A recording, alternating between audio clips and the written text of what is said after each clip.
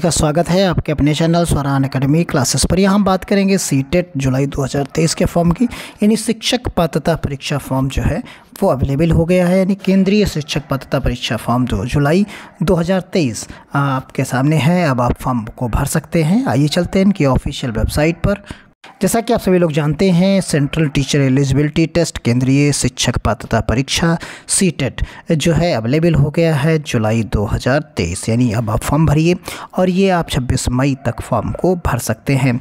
या अप्लाई करने के लिए आपको इसी मोड पर जाना है। यहाँ से आप जाकर अप्लाई करने के लिए आपको नोटिफिकेशन और बाकी चीज़ें यहाँ पर मिलती हैं। तो यहाँ से आप नए इंटरफेस पर आएँगे और टीचर्स एलिजिबिलिटी टेस्ट के जो आपका जो लॉगिन करने का है, वो यहाँ से आप चीज़ों को देख सकते हैं और फॉर्म को फिलअप कर सकते हैं। जो लोग पहले नहीं फॉर्म, यानी फ़र्स्ट टाइम भर रहे हैं, उनके लिए न्यू रजिस्ट्रेशन आप यहाँ से देख सकते हैं। ये न्यू रजिस्ट्रेशन है। यहाँ से उन्हें रजिस्ट्रेशन करना होगा।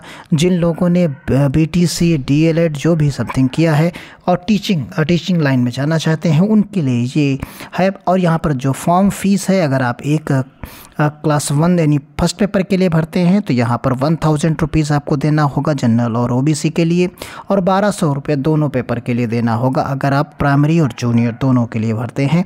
तो बारह सौ अगर प्राइमरी यानी प्राइमरी या जूनियर किसी एक को भरते हैं तो एक हज़ार रुपये, और एस सी को पाँच सौ और छः सौ रुपये यहाँ पर देना होगा। ये ऑनलाइन के माध्यम से आप फॉर्म में जमा कर सकते हैं, और इसके नीचे यहाँ पर डाक चीज़ें देखिए, सबमिट करना है, और आगे की तरफ़ बढ़ जाना है और यहाँ से आप रजिस्ट्रेशन कर सकते हैं।